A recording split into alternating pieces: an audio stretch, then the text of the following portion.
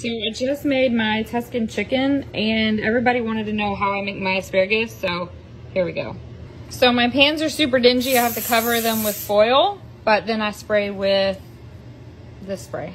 And then next we're going to cut off about this much of the ends to the asparagus.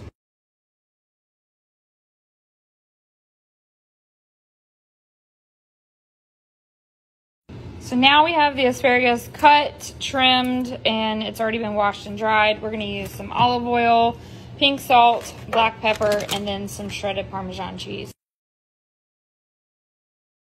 And I don't know how I forgot, but I'm also gonna add some of this minced garlic to it too. Okay, so next these are gonna go in the oven. I've got it set to 350. I'm gonna cook it for about 20 to 30 minutes.